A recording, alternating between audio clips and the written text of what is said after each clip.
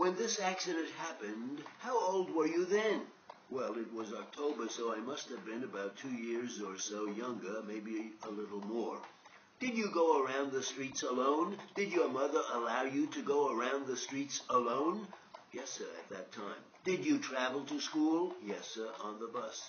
You used to get on and off buses, did you? Yes, sir. All alone, and you used to cross streets alone? Yes, sir. This bus that you were riding on that was going south on the street, wasn't it? Yes, sir.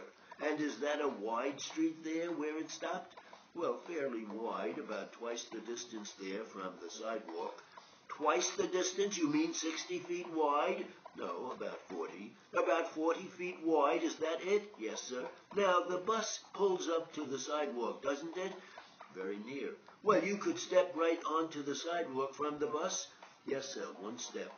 From the step of the bus right onto the sidewalk? Yes, sir. And you got out in the front there, right next to the driver, didn't you? Yes, sir.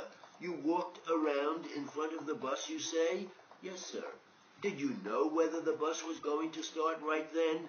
Well, it could not start because passengers were getting off. Did you stop and watch how many passengers got out?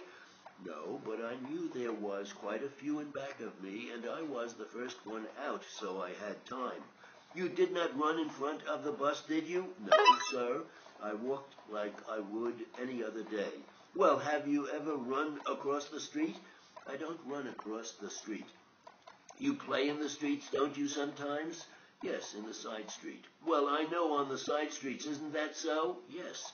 And if an automobile came near you, you would run away from it, wouldn't you? Yes, sir, I would step away. But you say on this day you walked around in front of this bus, is that it? Yes, sir. That was one of the big buses, wasn't it? Pretty wide. There are seats on both sides of an aisle. Yes. What bus is it? Can you tell me? I don't remember. It is painted red and yellow.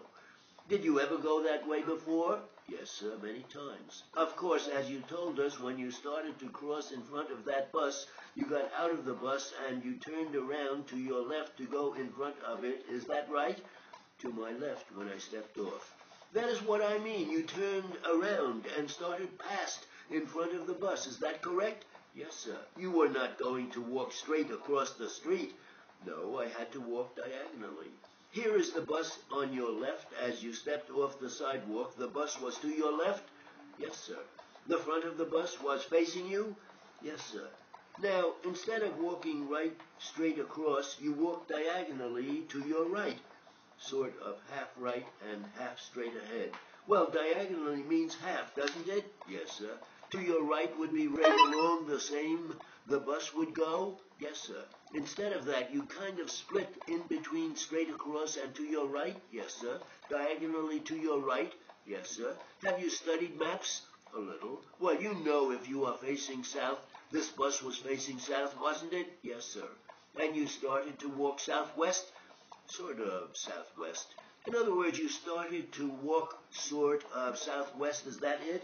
Yes, sir. And anybody with you? No, sir. That was one of those regular buses, wasn't it? Yes, sir.